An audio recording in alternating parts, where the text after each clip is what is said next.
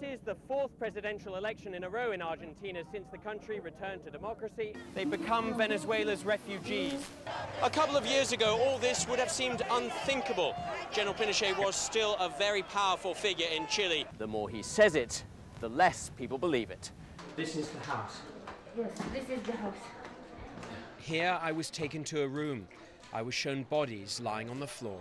Saddam's men are now slowly becoming George Bush's men, taught to police the American way. Being an Iraqi police officer in Baghdad means one thing. No one really trusts you that much. Under pressure following the attack in Gaza, Yasser Arafat clearly felt compelled to talk. Are you against our constitution? I'm not against the constitution. I'm it just, seems that you are no, against I'm our just constitution. asking. I'm just asking a question. You have to ask accurate questions, not your questions. Okay. Accurate questions. You are speaking with Yasser Arafat. Hussam is brought out of his cell, a would-be killer in handcuffs. A boy who doesn't even reach my shoulder. As Up till now, this is what a busy day looked like in one of Jericho's biggest tourist attractions. I was the only cable car passenger for months. In Gaza, a strong man has to show up with some panache. Hi, Colonel. How are Hello, you? how are you? Good to see you. Good Thanks, to see thanks, you. sir. So these are your men. Yeah. How can you be a democratic party on the one hand and an armed militia on the other hand? It, it doesn't mix. It mixes all over the world. This is normally a quiet oasis town. Hard to recognize amid all the dust, rubble, and gunfire. But for others, the borders are much more simple. Right. That that uh, that doesn't leave any room for a Palestinian state. I don't want the Palestinian state. In Haifa, at the site of the Hezbollah rocket strike, there was a sudden warning of more attacks. This is what life is like now in Haifa. The siren is going off. Israel Sharon heard the Hezbollah rocket land from his house just a few doors down. He's even kept a piece of it. It's like I say, to be or not to be, because if they will win, we have no what to do here. In the border town of Kiryat Shmone, only the poor and the elderly remain. Fanya Harosh shows us into her house. She sent her six children south, away from Hezbollah's rockets. Ask why she's still here. I soon see why. Her 80 year old mother, Esther, is too frail to move. Boy, boy, boy, boy, girl, boy, boy. This is China's growing problem. We've got the girls on one side and the boys on the other side, and they have to pair up. So, each of the girls has to take a boy. As you can see, there are some boys left over. Not every one of the kids in this class will get to find a wife. There's bits of rain in the air and the wind is hugely heavy. And this is the Yangtze River right next to me. And have a look at the water level. It's come up to about half the level of the trees. We wait for a new face, and we find it. This is Xi Jinping, the party boss in Shanghai. In Communist code, the first new face here is China's heir apparent. Get a good look at the faces behind me, because the men on this platform will be ruling China for the next 15 years. Tsai Shuihua is hoping to find his 32 year old son, Anfu. He's asked rescuers to search because he's convinced his son is still alive. 第前天下午七点二十拨通了他的电话。 The day before yesterday, we called my son's mobile phone, he says, and we got through. But we could only hear breathing, very weak breathing. The workers look inside, but they don't find any survivors. Rescue workers have given up hope here. They've got to move on to other places. But when your only son is trapped underneath all this and you believe that he's still alive, you can't walk away. How do you tell someone that they should give up looking for all that they have? the Olympics have come to Beijing. The older generation in this country can remember poverty, war, and famine. What must this be like for them? Tonight, everyone that counts has come. Now, what's happening here?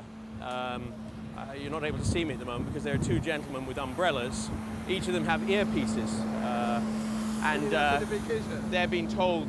I think they must have been ordered to just keep an eye on the foreign press. Sometimes get in the middle of, of the shot because that, that tends to happen quite a lot at the moment. Uh, we've heard that happening to other foreign journalists as well. Uh, it certainly protects them from the sun.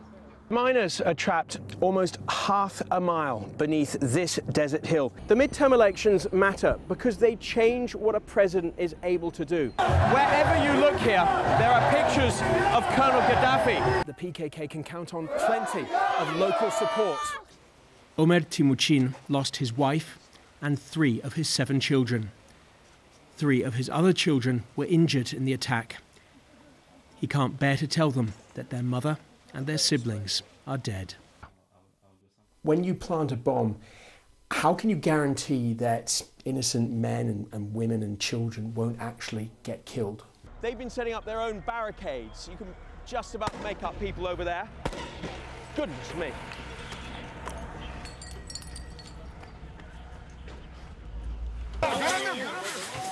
The police have moved in with tear gas and they're now instructing everybody to leave the park at once. A nighttime curfew has been imposed on Cairo. I'd say we're about 100 metres from the Rabaa Mosque encampment. We've been hearing live fire. This is the entrance to the makeshift morgue. And people here are desperately trying to get inside. This population, with its Russian flag over there attached to the Ukrainian flag, wants to have a closer alliance with Russia, it wants a referendum. This has become a vigil. They're desperate to find out what's happened to the miners still trapped underground. And there's nowhere else for them to go. This week has shown Israelis and now Palestinians that their children, their teenagers, are often the most vulnerable. This alarm means that there is a possible rocket coming in from Gaza, and everyone has just a few seconds to get through to the shelter. So far this week, no one in Israel has been killed by rockets.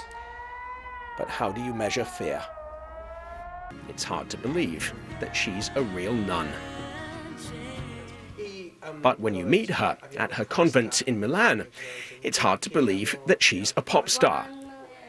The migrants are just a meter or so from the shore. This is the end of their journey. What a journey it's been. The army takes us to visit a bomb shelter in the basement of a music academy. One family takes refuge here. The older man, Alexander, under a blanket, is too weak to be moved. Debaltseve has become too dangerous for most civilians. I caught the eye of this survivor next to the window. He responded with a thumbs up, then a smile. Around 800 migrants set sail with them. The survivors fit onto a single minibus. No one knows the names of these dead, so the coffins simply had numbers. Hello, you're in Europe. Hello. How are you? I'm fine now. Good. Now I'm freedom. I'm a human being now. The crowd around me here doesn't really know what's going on. They don't know if the border's going to reopen, but they don't want to miss their chance. We are human. We're trying to be someplace safe. At the back, one man struggles with a crutch. Azat carries his elderly mother on his back.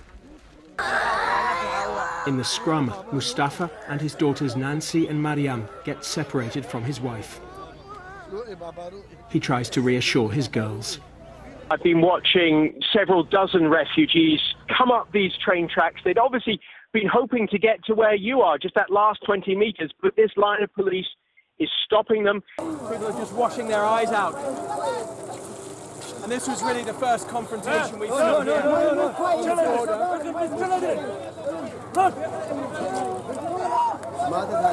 Six-year-old Asal has just come up to me here and she showed me the drawings she's done on her own using nothing more than flimsy tissue paper. So you can see there's a tree here she's done.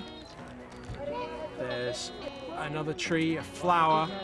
Each drawing shows happiness and excitement. These children will soon find out whether real life fits their picture. And suddenly, Spanish voters found they had three major parties to choose from, which made it more complicated. This afternoon, there was a large aftershock, enough to shake the entire town. The ground has just shaken again here. He can still command an audience, but Mr. Obama's ability to shape events is now fading. Rescuers know now that they're searching in the right place. The village of Nodeirinho watched the fires approach. A dozen residents jumped into this water tank to escape.